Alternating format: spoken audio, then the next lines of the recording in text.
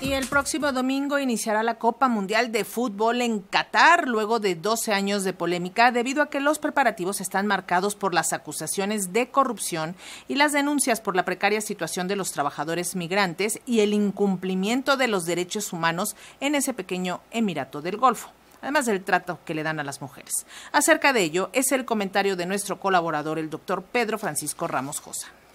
¿Ver o no ver el Mundial de Qatar? He ahí la cuestión. Como si de un drama shakespeariano se tratara, son muchas las voces que critican la celebración del Mundial masculino de fútbol en el Emirato de la península arábiga y piden un boicot al mismo. Para el resto, se trata de la celebración de un evento deportivo más en un lugar diferente, pero no tan distinto a los demás.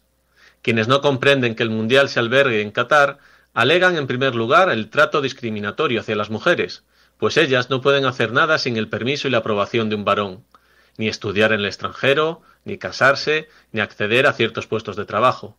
Tampoco pueden viajar a otros países, ni recibir tratamientos de salud reproductiva.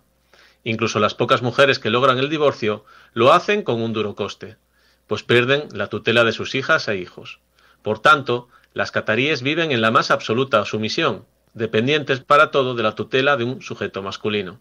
En segundo lugar, en Qatar, las relaciones entre personas del mismo sexo tampoco están permitidas, y el colectivo LGTBI sufre persecuciones, acoso y menoscabos de forma arbitraria. Ser homosexual en el Emirato se considera un delito, penalizado con hasta siete años de prisión, instaurando así en ley la misma homofobia. En tercer lugar estarían los derechos de los trabajadores migrantes, continuamente pisoteados en el Emirato.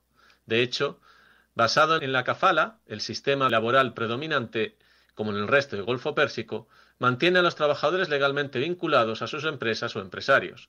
No pueden cruzar las fronteras del Emirato sin un patrocinador que supuestamente los respalde. Una vez acceden, quedan a su merced. Tienen dificultades para cambiar de empleo y no pueden abandonar el país a la ligera.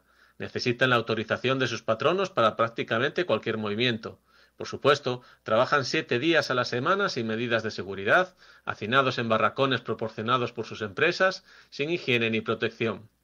En febrero de 2021, el periódico The Guardian informó de que 6.500 trabajadores migrantes de India, Pakistán, Nepal, Bangladesh y Sri Lanka habían muerto en el país entre 2010 y 2020.